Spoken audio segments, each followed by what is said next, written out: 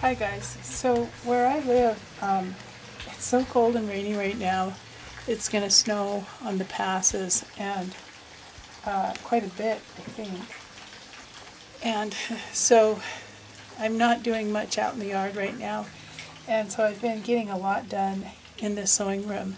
We have a standing joke at our house about when something's the messiest it's ever been. The sewing room is the messiest it's ever been.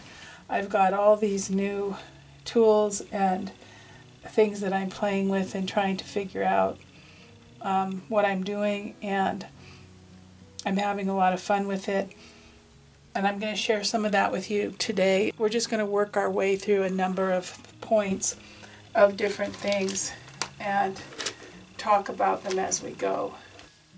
One of the things I figured out pretty quickly after all of my struggles to cut leather using the things I've used in the past, such as a utility knife or an X-Acto or scissors, is that it cuts very well if it's this soft, buttery kind of leather with a rotary cutter. This one came with this leather kit that I bought, and so now it's going to be my designated leather one because a big part of the reason I didn't want to try to use the one I use all the time in the sewing room, is that I knew I'd put in a new blade and I didn't want to dull it cutting leather.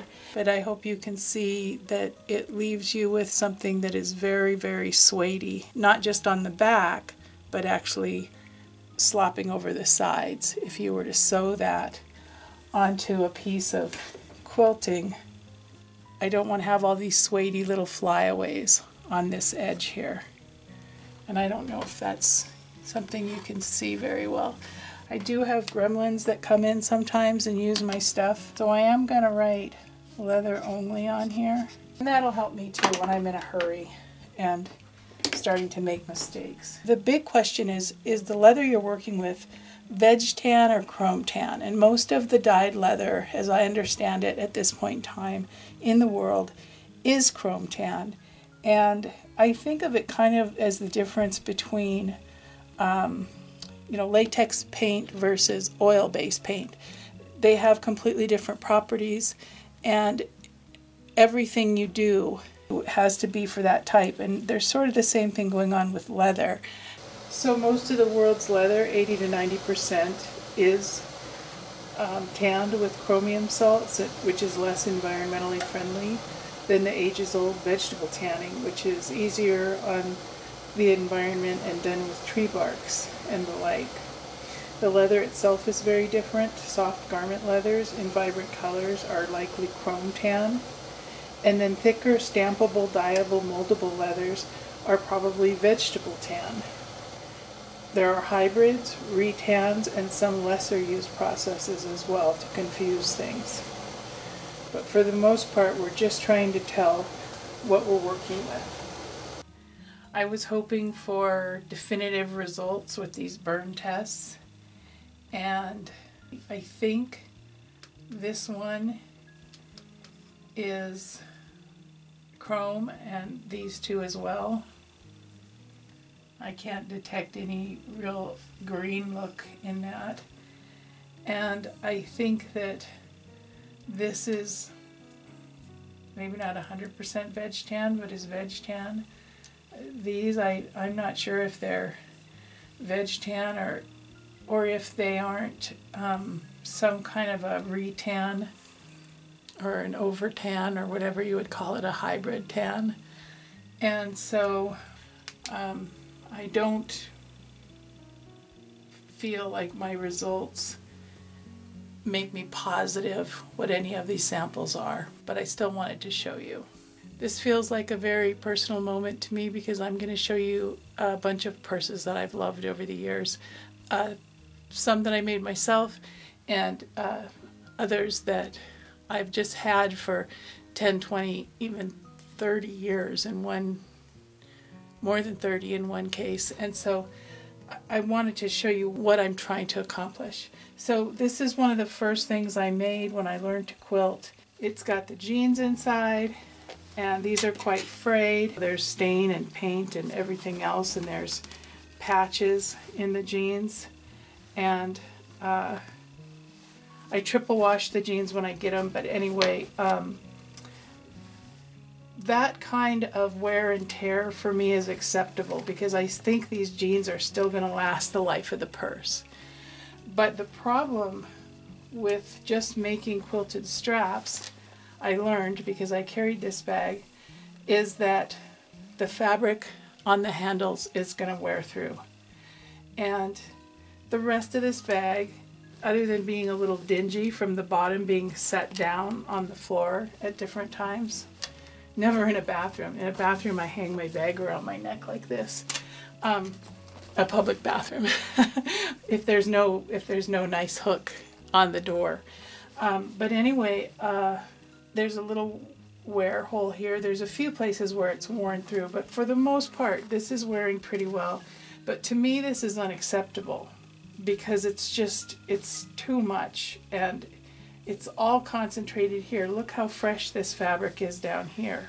So this is a later uh, version of the same type of thing, but with the artichoke instead. And, and so this is mine, and I barely carry it. I, I do when I need to carry a ton of stuff, I'll put this in the mix. And what I want is for the body of the bag, as long as the body of the bag is nice and usable still, I would like the straps to be in good shape, even if the denim lining shows a lot of wear. And that's just my aesthetic. That's just what I'm going for. And, you know, it's a real concern. Not only do you want your customers to be happy when they take something home, you want them to be happy with it one, two, three, five, seven years later. Now, with cloth, if they use something every day, it may not make it seven years for them, but they'll have a sense of how much they've used something. And if this fails very quickly, they're not going to be happy. And replacing this, um, I've done it for someone who was actually willing to pay me to replace them, but it's the same thing. I'm sure by now they're all completely worn through. And I don't have one here that I did with leather, but I put leather straps on some of these. And um, I wish I had one myself so I could see how it's wearing. This is one that was just really a test of a particular shape and design. And this purse, I carried it for a while. It's been washed. It's upholstery fabric. Um, if you want to test a purse, take it to Disneyland, your only purse, and stuff it full of everything that you go to the park. We were about three blocks away, and one person had a a knee brace. And so once we got to the park, we were there all day. And so mom's bag was overloaded. Even though I, would used it for a while before that, it came home like this from Disneyland. And this is why I would like to have certain parts of the bag be leather. Even though we give up washability, we can still surface scrub we can treat with Scotchgard or recommend that people treat their bag with Scotchgard. I just brought this because I, I saw it in the closet and decided to bring it. So this is my cash bag. I wear it at the market and shows. Anyhow, I just thought I'd show this. It's got a pocket in the back. Sorry, there's money in here and uh, and my my square and stuff like that.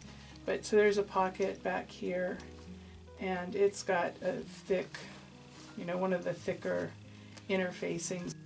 I've been trying to figure out what I'm trying to do and why, and uh, how much is reasonable for me to put into the leather because it's it's going to raise the price of the bag, it's going to raise the time construction, and uh, where's that good price point going to be? I wanted to show you this because this is one of my favorite purses. I got it in college and uh, I wasn't worried about security. I didn't have any money or credit cards. and, uh, so it was my brush, and there were no cell phones, and uh, you know, my ID and a few other things. But this is so old now that uh, that everything's coming apart. But at a certain point, it had a strap that was ripped and you can see how imprecise all of this is And I took it to the shoe repair guy. And so you can see he he beveled these and stitched that together and then he did the same in order to mend this for me so that I could I carried it um, for another 10 years it was my summer purse my favorite summer purse. So this is another one of my very favorite bags. I think it was the first leather purse I bought. It's a fossil. And um, I carried this for years and really loved it. And one of the things I wanted to mention about it is that this strap, you know, I think you could use an edge coat. That's one of the products I haven't uh, tried yet. And you could blacken this up. You could even probably just use a black shoe polish. And this purse would be pretty close to as good as new. And I love that if, if this strap failed but the body was still in good shape, of course I could um, just replace the strap completely. This is another fossil, completely different. No zipper at the top. It's got a drawstring on it, which is kind of cute. may have inspired some of the drawstrings I was doing, but I was pounding a lot of grommets and rivets, and I wasn't really. I didn't want that to be my job, to be the, a rivet pounder. And uh, this is all kind of nice, but of course you need something that can really sew and these edges are finished on this. But this one's actually turned. This is like a thinner leather than this. They're closely color matched. You know, genuine leather and top grain leather or full leather, uh, all that stuff means something. Back in the day when I was buying purses, you know, when I worked outside of the house and stuff, I, I was looking for just something I thought was real leather. Um, so that it would last. And I never realized what part detailing plays in it. And this is fascinating to me that this is a turned strap and this thing that I've always considered to just match it is uh, is completely different. Like this may well be a chrome tan and this one may well be a veg tan. And this one uh, has this awesome orange lining and but the thing about this bag, there are two things. One is I really like how this looks with the, the leather just butted up. And those are those edges appear to be sort of lightly treated, finished maybe with uh, paint, edge paint or something. But then on the strap itself, it's to me it's a little less desirable and it's from age it's getting all cracked up and the the edge treatment has enough body that as it falls off, there's some serious wear and tear here that I don't think you could just fix like my black fossil where even shoe polish would would make it look practically brand new. This paint at this point, however old this bag is, maybe 15 years old, is all cracked all the way everywhere on the bag and and it's coming off and I don't think you could just rub something on there or touch this up. I think if you wanted this to look like new, you, you might have to figure out how to remove all of that and, and um, replace it. And so this, as beautiful as this finish was when it was new, it's all failing at this point. And I just, I, I just don't think it's like half as old as that black fossil, and yet it looks older. But it's mainly on these straps. See how this is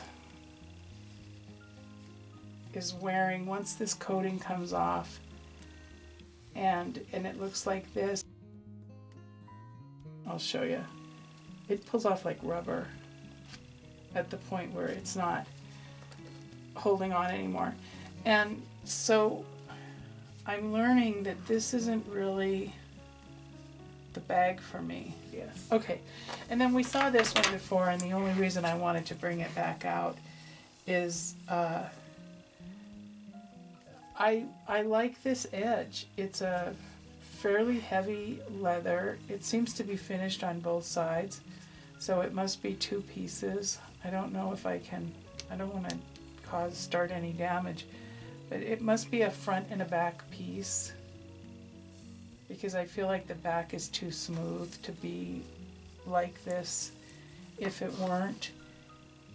And then it's it's nicely rounded and it I don't believe this has a rubbery thick coat on it. I think it's just like a red a red kind of edge coat. And I know that they use waxes and I think some repairs are even done with crayon in order to mix a good color. And yeah, this is, I think, just the nicely finished edge of a good quality leather that's a veg tan and then a bit of paint applied. And see here, you can even see the back of the leather. That's the back of that, the way the back of a veg tan looks. So I did about 10 sketches when I started, uh, right after I finished the seven purse tops. And I've been working from those. A lot of them have uh, similar styling to some of the cosmetic bags that we've covered on the channel. And some of them are a little bit different. Some of them borrow ideas from the leather book I showed. Some of them borrow ideas from uh, my purses that I've loved. And uh, most of the timing or most of the design time that's going into making these early pieces is spent on what's going on in the interior because I've decided that I want the leather, that inside suede part of the leather, I want a lining covering that, but yet I still want the inside quilting to show. And so and I want it to all be neat and tidy and precisely done. And so a lot of the time I'm working on is that inside of the bag and what needs to be bound to make it finished because even though I do the raw edge quilting, it's not about just leaving the inside of the bag so that the seams have threads pulling off of them forever that tangle with your pen caps and and stuff like that. It's the inside of the bag I want to be nicely finished. Um, I'll show you a couple of those. Um, so most of the time that I'm working on is dealing with the linings and any stabilizer that I might want the lining to have. I do like them to be stabilized in most cases. Closures, zippers and other closures, any hardware, straps, interior and exterior pockets. And so um, I'm working on all that stuff, and as I finish things, I'm going to start putting them on Etsy. And if people want to look at the details, they can see those things on Etsy. I'm also going to add eyeglass cases and sunglass cases uh, as we go forward. This is kind of a little cosmetic bag. I think it would be really cute if it had nice uh, tabs on both sides, sides, or maybe just a strap sewn in that was parachute cord. I think this would look really cute, sort of as a crossbody bag that sort of sat it on your hip. Um, and I think it could use a pocket. Future ones I think would probably have a pocket. But what I did was I this one doesn't have any hand sewing on it because I, I didn't think about the leather or the covering the leather as an afterthought. I, I did it in the course of making the bag. And I think it's pretty cute. My husband really likes this one. And I asked him, years ago someone said they thought I was gilding the lily and so my husband says that to me sometimes and I'm like, you don't realize how much that hurts my feelings. Um, I asked him if he thought the beading was extraneous and that it was gilding the lily, um, but he said no, he likes the beading. So one man's gilding is another man's, you know, that's the best part, so who knows. Anyhow, um, I've got those things going and I'm trying to figure out linings and I'm working on several other designs. This is my, I don't know if I've ever had this out before, purse hardware. Uh, I don't know what, was I thinking I was gonna make a bunch of fanny packs? I've got some various some of these are solid brass and some of them are uh, cheaper. Some of it's the stuff that you can get at the chain store, or used to be able to. It seems to be a reasonable quality. These are solid brass D-rings. These ones are much older from when I was making aprons. But so anyway, uh, I did get a whole bunch of magnets. And these are slightly lesser quality than the ones I was getting. I got a whole bunch. I got a hundred or I don't know if it was, I don't think it was more than a hundred. This is the boot stitcher, the shoe mender, the cobbling machine, and uh, obviously something like this needs a nickname and so my husband's nicknamed it Stitch from Lilo and Stitch which uh, Stitch was called the monstrosity by his creator. We plan to hook this contraption to take it off the legs and hook it to a table. As an Amazon associate, I earn for qualifying purchases. That will make it be at a good sewing height. So my leather stations are not completely set up, but they're getting there. Bought a little uh, tool stand. There's a little kind of a kitchenette area that I've just decided to use for doing the leather because I don't actually keep food up here and there's no running water. I bring up a water bottle and I, I sometimes have a couple of pops and things in the, in the little refrigerator so far, most of what I've done, I've been able to do on my own machine. It's just when I was making the prototypes, it was bringing back for me, and I and I knew it would remind me of of what I was doing when I sort of started moving away more and more from doing the leather. I would get to one part where I needed to sew two, three, four inches through more than my machines could handle and I just and you could walk through some of it but then what you'd get is this. I I already reshaped this little bag and it's I think it's really cute now that the sides are really tight.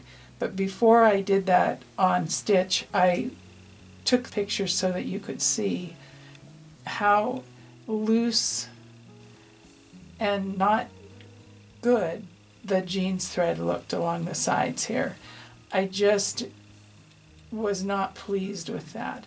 And you know, there's some question in my mind when I'm making the bag that's part leather and but mostly fabric. Do I stitch the fabric with the nylon thread? Do I use a cotton covered polyester, an all purpose thread? Um, and I'm sort of working through that, trying to think of, on balance, what's the best thing for me because you you want your customers to be happy so they come back and they buy something similar for their friend or their daughter. You also don't want them to come back with a return.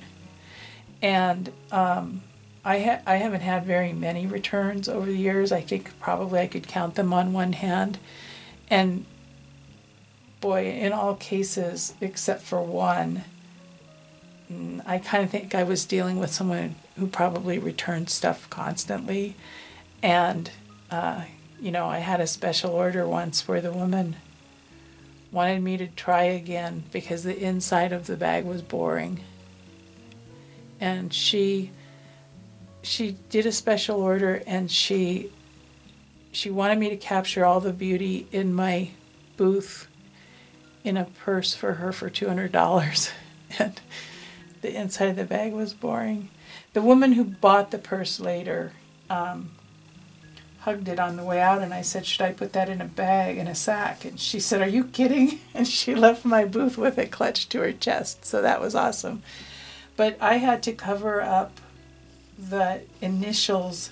The woman who had originally ordered the bag wanted me to put her initials on it, and that should have been uh, the tip off to me that I shouldn't have taken that order because she, I believe she felt that um, she was the designer of the bag. And where she said you could do this or this or this or this or this, or you could do this, I took it to be or. I, I'll do some of what you're saying and I'll make you something beautiful. And I think she took it to mean it has, it's a checklist. You have to put all these things in there. Anyway, I digress.